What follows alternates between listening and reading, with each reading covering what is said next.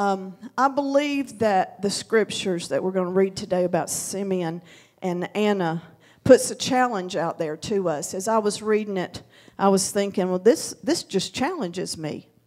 And so I began to write down a few things that it challenges us to do. It challenges us to, uh, to be believers, to be believers, to be faithful, and for us to stand on the promises of God. What God has promised you. What I know that there there's probably not one person in this congregation right now that has not received a promise from God. Every one of us at one time or another has received a promise. You received your salvation number 1, right? That's your promise. You're saved. You're ready to go. You're going to live for the Lord and you're going to see him one day. So let's read Luke 2, 25. I'm going to start at 25. Now I'm reading this in the, um, the Living Bible. It says, That day a, a man named Simeon, a Jerusalem resident, was in the temple. He was a good man, very devout, filled with the Holy Spirit, and constantly expecting the Messiah to come soon. I don't know about y'all, but when I said constantly, expecting the Messiah to come. I felt it from here all the way down to my feet. I could feel the power of God just come all over me, and it was like he was expecting. He'd come to the temple expecting he expected to see Jesus. He expected to see the Messiah because he had been promised. It says, For the Holy Spirit had revealed to him that he would not die until he had seen him. Woo, this one's good. This is good, y'all. God's anointed king. He was promised he was promised by the Holy Ghost that he would see, his eyes would look at the promised child, God's holy anointed king. The Holy Spirit had impelled him to go to the temple that day.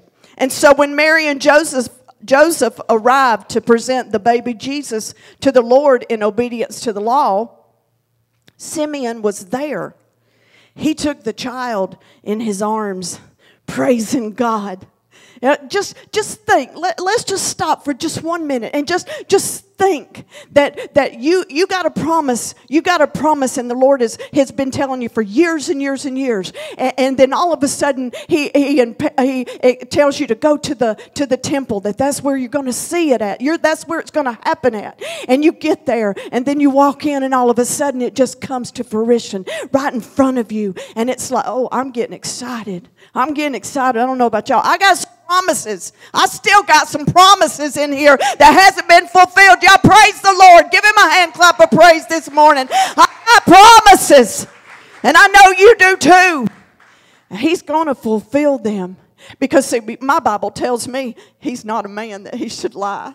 He's not going to lie to us. He's not going to give us a promise and then take it away from us. He's not an Indian giver. He's going to keep that promise. Every time, he's going to keep that promise. Simeon was there. And he took the child in his arms, praising God.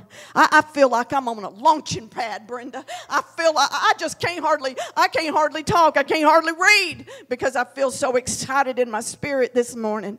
God is up to something. He is up to something. Lord, he said, now I can die content. For I have seen him as you promised, as, as promised me, as you promised me that I would. I have seen the Savior you have given to the world. He is the light that shall shine upon the nations, and he will be the glory of your people, Israel. He will be the glory of your people, Israel. Thank you, Lord, for opening this word to us. Thank you for what we feel already in this place this morning. We thank you for your spirit, Lord, that is just moving in this place from pew to pew, Lord, from person to person, God. We thank you, Lord Jesus. And we know, God, that we're gonna we're gonna draw out of your word today everything that we need, Lord, everything that you want us to have. Oh, we just pull ourselves up to the table of God this morning and we're gonna feast, Father. We thank you and we praise you in Jesus' name. In Jesus' name. Simeon loved and he honored the temple of Jerusalem. People came from all over the place. If you've ever looked at any of the any of the things on TV about Jerusalem, about the temple, about back in the day, then you see how how the temple was so beautiful and how it was it was such a fine edifice. You know, it was it was so big and and, and they had a place for everything. There was there was just all kind of things. It was really really nice and and people came from all over the place and to they were eager eager to see eager to come into the house of God. That's what we should be is eager to make it into the house of God. Like we can't hardly wait when we wake up in the mornings and say, "Oh, it's Sunday morning. It's time to go to the house of the Lord. Let's go and praise the Lord this morning." That's the way that we should be. They were looking at this place we're looking at Him. We're looking to worship Him. We're looking for, for Jesus. And this is what Simeon, Simeon was also doing. He knew he knew that he had that promised and he was just looking for it. It was such a beautiful place. And, and, and, even in one place in, in Acts 3 1 through 11, you can read it later on. There was a place on there, or, or place at the, at the temple that was called the Gate Beautiful. There was a place where, and, and that was where Peter and, and uh, John uh, came across the lame man. You know the account. He said, Silver and gold have I none, but such as I have give I unto thee. In the name of Jesus, rise up and rise up and walk. Rise up and walk. In Simeon and, and Anna's day, the temple wasn't just a, a very busy place for people to come look and people to come see uh, how beautiful it was. But they were told this is the only place. You, you, you, you can only worship God right here. Right here. You remember the story with the, with the woman at the well where, where Jesus told her, says, No, you don't have to, you don't have to worship right there because God is spirit. And they that worship him must worship him in spirit and in truth. We can worship him anywhere. It don't matter where we are. We can be at a party like last night and we be walking through. Praise the Lord. Hallelujah. It don't matter. We can be out in the grocery store. Praise the Lord. It don't matter because I'm telling you, he hears every time we praise him. Because the Bible says that he inhabits our praise. He inhabits our praise. You down and out. You got something going on during this time. You can't get past all these feelings that are in your in your mind and in your spirit and, and, and, and, people all around you giving you problems. Begin to praise the Lord. Begin to praise the Lord. See what happens. God will bring you out quicker than you can imagine because you're praising Him. And He's right there. He's, he don't allow His children to be down too long, lest we want to be. You can be if you want to be. Come on. Come on, y'all. You can say amen or oh me. It don't matter with me, but say something this morning because I'm ready to I'm ready to preach. I can feel it on the inside coming on the outside. Oh, what a change in my life. Praise God. Praise God. Thank you, Jesus. The Lord makes a way. He makes a way for everyone, everywhere to worship Him. Can you imagine? I know all of you know I'm not going to get on an airplane. You all know that I'm not going to get on a ship, even though Jenny and Kenny's trying to get me there. They, you know I'm not going to get there, but I'm going to tell you, God made a way for me to worship Him. I don't have to go to Jerusalem. I can worship Him in spirit and in truth right here, right now. Praise God, praise God. I'm getting a little bit excited. Just a little bit. But it's okay. It's okay. God's just smiling. Let's just say that. They're saying, Go, girl, go, girl, go, girl. Yeah, He loves us all. The man Simeon was a devout man of God, though. He was so devoted to worship that you could find him in the temple many days, many days out of the week.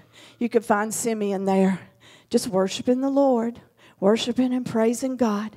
You know, there are times, and, and I know some of you have uh, come in here, the, those of you that have keys, that you do different things. Uh, and I've seen, you know, where, or, or been told by a couple of you that come in and, and, and just, just stop. You just come in by yourself. Sometimes it might be cold, sometimes it might be hot. Sometimes it might just be right. In the springtime, that's my favorite time to come in here in the in the springtime by myself in the fall because I don't have to turn the heat on, don't have to turn the air on. You know, and I can just stand here and praise God. Praise God. You ever, you ever, you ever want to just come into the house of God and praise the Lord by yourself? Give me a call. I'll drive over here. I will unlock the, car, the door and I'll outside or unless you invite me in. But if you want to just worship the Lord, I'm telling you, there's something. There's just something about coming into the house of God, coming by yourself sometimes and just worshiping and praising the Lord. There's nothing like it. And I don't mind sitting outside waiting on you or give you a key. I don't mind. But you got to learn how to set the alarm. Years before, Simeon had received a promise. He received the Lord. The Holy Spirit had to, uh, give him a message, and he said, Simeon, before your eyes close in death, you're going to look upon the promised Messiah. And can you imagine being told that? Can you imagine? We can't imagine that. Because one day we are going to set our eyes on Him. One day we're going to see Him face to face. We're not going to have to wonder anymore. We're not going to have to look at a picture back there or, or up here and say, okay, that's, that might be what he looks like. No, we're going to see him face to face. You think about it. You think about it. He came as a babe. He, he, he walked the, the dusty roads of Jerusalem and all of the areas over there just to die for us. Just to die for us. I can't wait. I can't wait to get uh, to get to set my eyes upon him and, and, and bow down and, and just praise him and worship him because of what he done for me because he loves me because he loves you Simeon listened to the prompting of the Holy Spirit that day, and he came to the temple. Mary and Joseph was there. They were they were making their way because they were going to do the customs that was that was uh, that they had to perform, dedicating baby Jesus and and the things that they had to do, uh, uh officially giving him his name, Jesus not Joseph, because they always named name the boys after after the father, you know. But no, the angel of the Lord had come and told her his name is Jesus, Emmanuel, wonderful counselor, mighty God. You think about it. But he, Simeon listened. He listened to the prompting of the Holy Spirit. See, that's what the Holy Spirit will do. Sometimes when you got this feeling in you and or you got this thought in you, that's the prompting of the Holy Spirit. Go to the altar, get up and sing, do this, or go pray for somebody, or call somebody on the phone and tell them Jesus loves them. That's the prompting of the Holy Spirit. Listen to it, people. Listen to it more than you've ever listened. Begin this year. Begin right now listening to the prompting of the Holy Spirit because I know that He prompts us to do things, to speak things into people's lives. There's people hurting out there. And they need us to speak the truth. They need us to speak Jesus into their lives.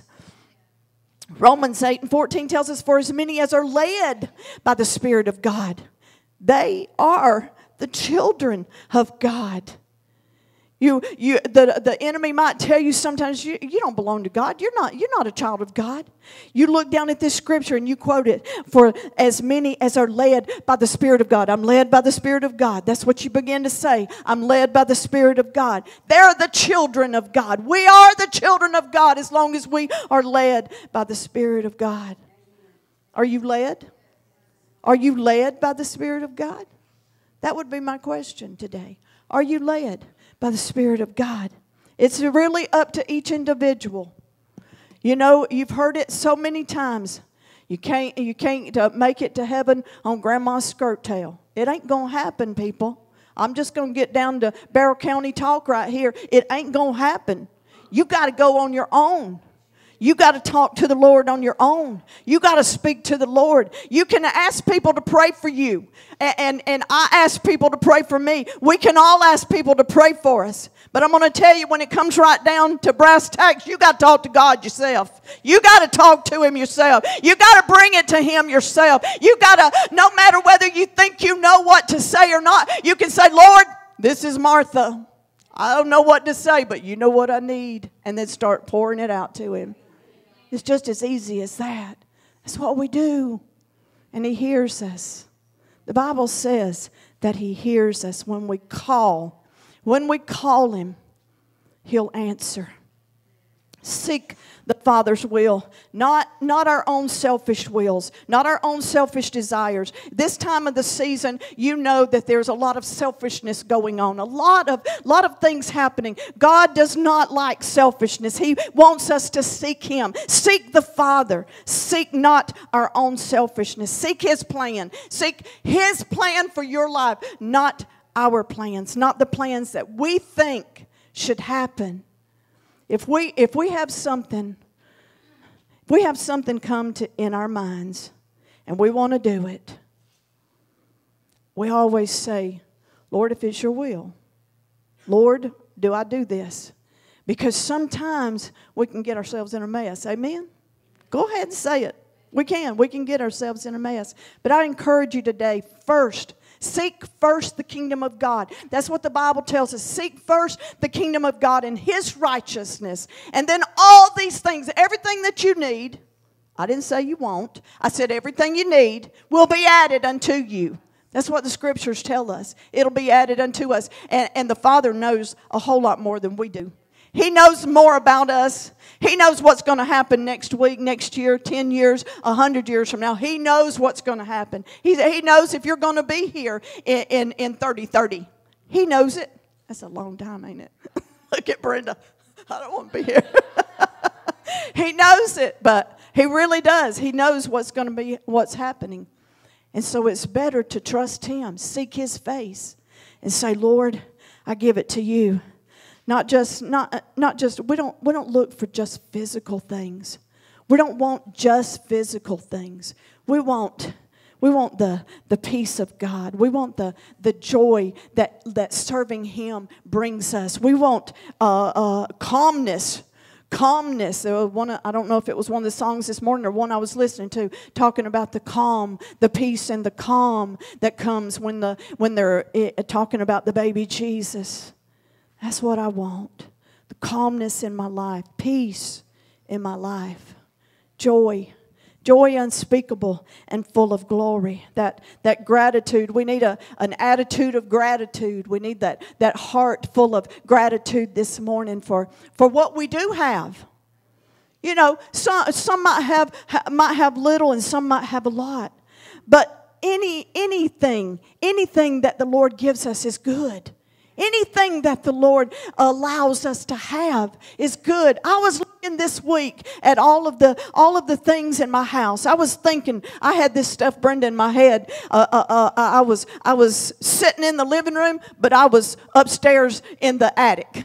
You know, everybody got an attic or basement. Got you got one? You got it full. I was thinking about all that stuff that I got. I was thinking about this side right here is all the mama's stuff that was left. Was like two boxes. And then I've got all of my stuff. And then I got a couple of things of Joey's, two or three boxes over here. All of my stuff. And I was thinking, Lord, you've given me so much. I don't even know what's up there. I have no clue what's up there sometimes. But God sees us and he knows that we that we had these the desire for these things and so we have them god is good that way people. I just want you to know this morning be grateful. Be grateful for what you have. The holy spirit said this morning to tell the people to allow the father to work in his time. I'm talking to somebody because i felt it go through just then immediately again not in our time, people. The Father's wanting to do something in your life, but He's wanting it in His time, and you're trying to rush Him. Don't let Him. Don't, don't, don't allow it to happen. Our time, you know, our time actually, our time is is selfish. It's flesh. It really is. Y'all can agree with me. It's all right. I mean, he's not going to hit you over the head just because you agree with me. I'm just telling you what he said this morning. We got to remember, and remember what, what Brenda said. Um, joy. Was it joy? Jesus, other. Oh, that just that's perfect. Jesus, others, yourself, yourself. Jesus, others, and yourself. That's what brings joy. Putting Jesus first. That's what he's talking about right here. Right here. That's what he that's what he said this morning. Let me do it in my time, and then you'll see all that joy. You'll see all that joy unspeakable and full of glory if you'll put Jesus first. Jesus first in your life. Are you getting it? I'm getting it. I'm getting it really strong right here. I, I don't even want to go any farther. Jesus first in our life. And then others. And then think about yourself. Think about yourself. We got many people in here that I could tell you that right off the bat. Uh, that's exactly the what they what they do. They put Jesus first, others next, and then and then they put their self last. God is good like that. I see those teenagers back yonder today, they're just smiling, and so they know something. we got to put Jesus first, don't we, girls? Got to put Jesus first, and then others, and then ourselves. And that's not so easy to do with kids during, during the holiday season because they won't be first. They won't be first. Well, on, on, on Christmas morning when you wake up, wake up with a, when, if they wake you up, wake up with a, Jesus, we love you.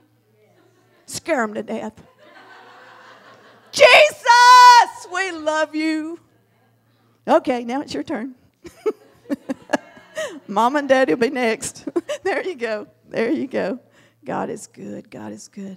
Seek to be sensitive to the prompting of the Holy Spirit. If you're having a hard time, and I know some of us do sometimes, wondering, is this really God speaking? Is this really the Holy Spirit moving me? Seek the Lord over it. Seek His face and make sure that, that, that tell, tell Him, tell him, Lord, I want to be sensitive, more sensitive to your Spirit. I want to know that I know that I know that it's your spirit that's speaking to me to do this, that, or the other.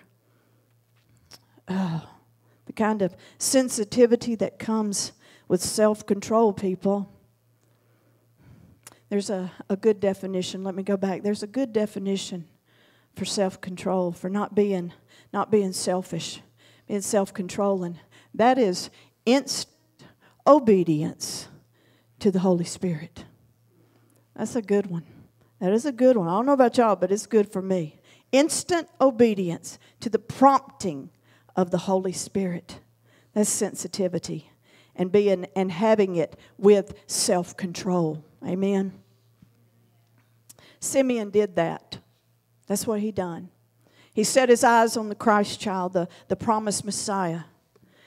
He was the highlight of Simeon's life because he was expecting. He was in great expect, expectation. He woke up every day expecting. He went, he got dressed and he went to the temple every day that he went. He expected to see the Savior. And that's what we should do every time we walk through the door is expect great things.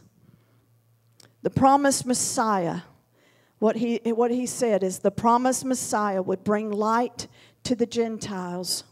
Their eyes would be opened and their understanding would be enlightened. Their understanding would be enlightened. People, take the challenge. Take the challenge of Simeon today. Instant obedience to God. Don't, don't ask questions, just say, Lord, I'm going to obey you, and, and just do it. Just do it. That way, the enemy don't have time to talk you out of it and then talk you out of your blessing. You'll, you'll, you'll have already, already went and said what you needed to say or done what you needed to do before he can even see that, that, that you moved. Thank God.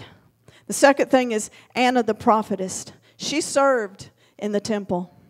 Anna had, had been married, the Bible says, just a, just a few years, and then she was widowed.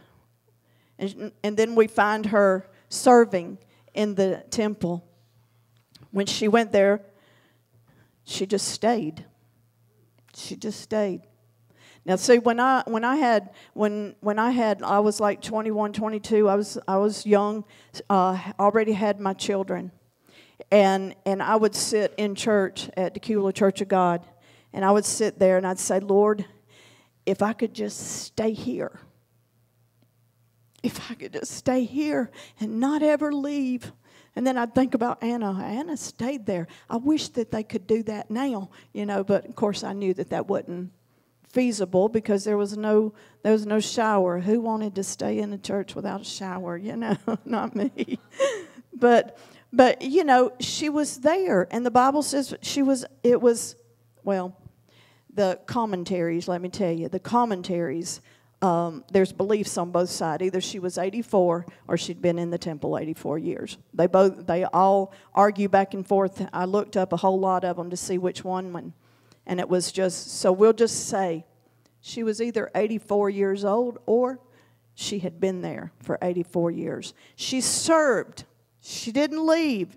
She entered into the church into the temple and she stayed there. Her service to the Lord was prayer and fasting. That's what Anna done.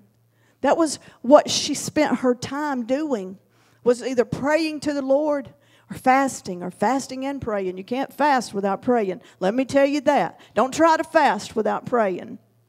You got to pray and fast. Those two go together. They always go together. Anna was wholeheartedly devoted to God. She had it in her heart and in her spirit to give her whole self to the Lord. And, and she was there that day when Mary and Joseph came in with uh, Jesus. And, and when she set her eyes on the baby Jesus, she burst out in shouts. She shouted out with joy and, and praise to God. Like Simeon, she began telling everybody. Simeon was telling people, and, and, and so was Anna telling people, this is the Messiah. This is, this is the one that we've been looking for. This is the one we've been praying for. He's here. He's finally here. Some believed. She said, The Messiah King that we've, that we've been looking for, he's here. He's finally arrived, finally got here. Take Anna's challenge, just like I challenged you with, with Simeon's. Take Anna's challenge. Worship and praise God. Praise Him anywhere. Uh, work toward work toward that that place of of of devotion, being totally, totally devoted to the Lord, being totally, wholeheartedly devoted to the Lord. You know, when we ask, when we ask the Lord for things, when we pray and, and we've got something on our heart, we want His attention, right? We want His wholehearted attention, right? I do. I want to know that He's listening to me, Brenda. I want to know. I want to know that He hears me. He wants you wholeheartedly too. He wants us wholeheartedly. He don't want. He don't want a half. He don't want half of us. I this past week. This is this is one example, and it just dawned on me. This is why it happened, Martha. So you can tell it. This week, one of the days, I remember which day it was. I had a really hard time focusing. I had a, I mean, it, it, it, was the, it was the worst time I think ever in my whole entire life that I just couldn't focus, Brenda. I couldn't, I couldn't, I couldn't read. I couldn't pray. I got down in front of the couch. I got up. I went to the, the kitchen. I stood and prayed. Sometimes, like I prayed there, I, I, I couldn't do it. I went into the uh, living room and I went back to the couch and I said, I ain't going to the couch. I'm going to go to this side. And then I got up. Couldn't do it. I got up and I went to another place. I went to the bedroom. Jenny, I went to the bedroom where my chair's at. And I decided, okay, I'm going to sit here and I'm going to pray. I couldn't do it. Kenny, I couldn't. I don't know what was going on, or I didn't know what was going on at the time. At the time. But the Lord was showing me you got to be wholehearted. You got to be wholehearted in this, Martha. I need you devoted. That's what I'm talking about. When we get in those places where the enemy will do that to us, because that's what was happening, I was allowing it. I was allowing myself to be distracted. Come on, say amen or oh me. I don't care. Either one. Smile while you do it. But it's the truth.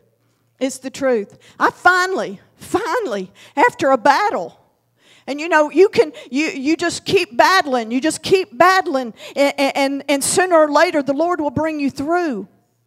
And it's for a purpose. When, when Christians go through things like that, it's for a purpose. Because Lord just used it just now. I had no clue why. But see, that's what He does.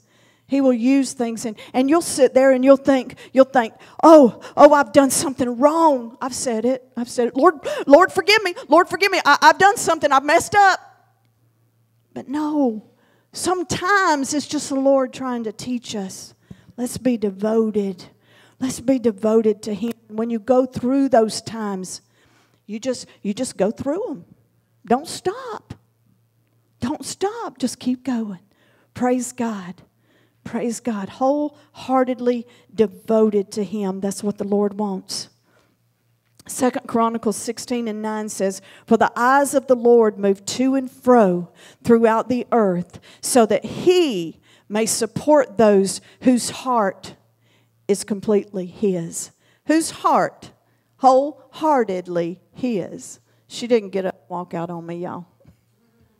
She said, just so you know, I got to go downstairs and help Tina. But anyway, wholeheartedly, it says, For the eyes of the Lord move to and fro throughout the earth, so that he may support those whose heart is completely his. He knows. He knows whether your heart is completely his or not. He understands that. I watched a, I watched a, a, um, a little YouTube thing the other day about this uh, elderly past, uh, pastor. He had been a pastor for years. He wasn't a pastor anymore. He had he had passed away, and he came back. He was in the hospital, but for some reason he, he, he died, and he came back. And while he was out, he had stood before the Lord, and the Lord told him, "says Depart from me." He said, What? Huh?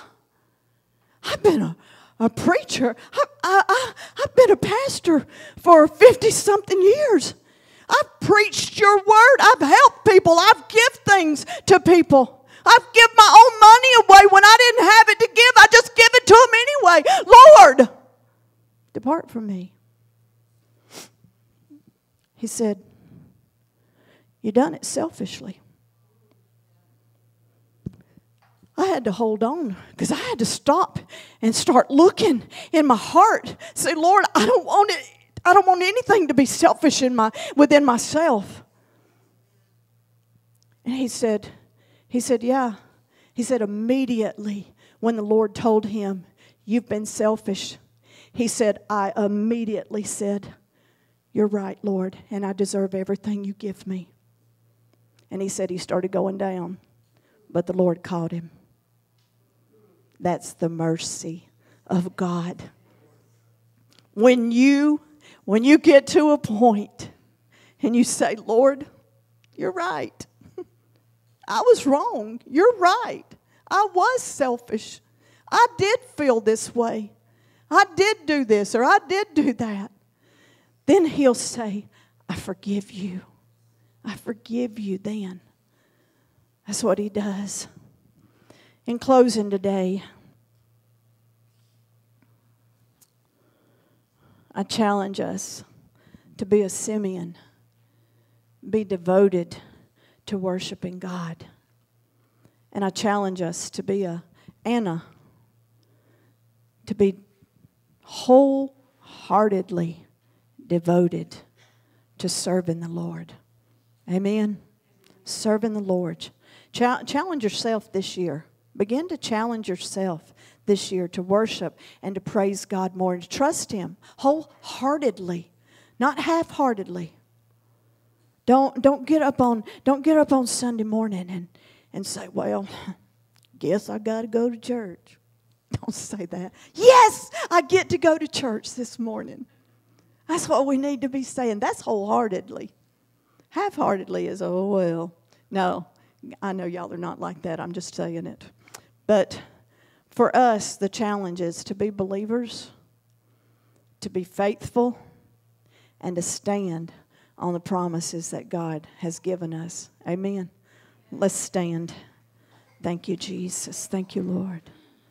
Thank you, Lord. Hallelujah. Hallelujah. I, I was uh, in my prayer time this morning as the Holy Spirit was speaking to me. I was I just saw all of us around the altar just lifting up our hands together. So, could we do that before we leave? I know some of you are not going to be able to be here next week, and I understand when you've got things that, that you got to do during the holidays. I do understand that, but can we just come and just just gather as close as we can up here even if some of you have to get up on the stage with me i'd just like for us all to be able joey including you turn on some music and just leave it i just want us together, together. You got it? Thank you jesus. Thank you jesus. Thank you lord. We're just thankful lord today. Thankful for your many blessings. Thankful, God, that we can come in the house of God and worship you and praise you. That we got a place, Lord, over our heads, a building to worship you in. Even though we don't need a building, Lord, because we have our own house, our bodies our worship houses of God. We're so thankful, Lord, today for each person that's here, Father. You know their needs, Lord. And, and God, I, I, I'm not going to ask you, I'm not going to ask you for anything this morning. I'm just going to thank you, Lord, in advance. If you got a need in your life this morning, I want you just to raise your hand and I want you to begin to thank God for the answer. Not not your answer, not the thing that you think that that should happen or the way that it should happen, but you thank him for the way that he's got it worked out. For the answer that is perfect for us. Father, I thank you for my answer.